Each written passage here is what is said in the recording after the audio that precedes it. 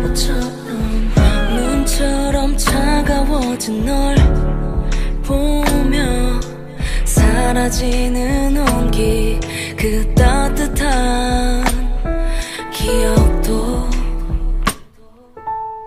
지친 걸음을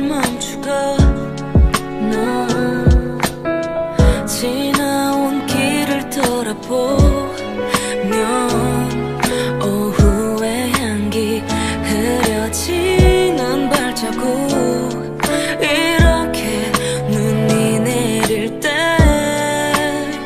때였는데 그날의 기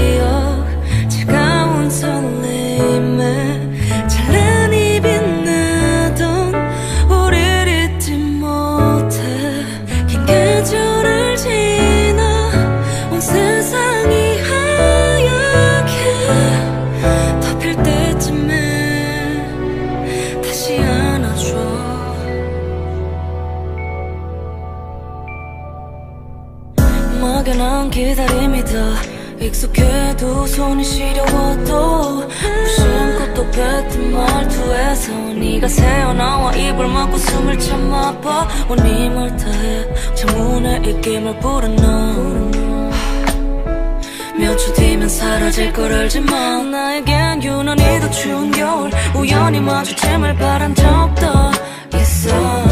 12월의 낮과 밤은 서로를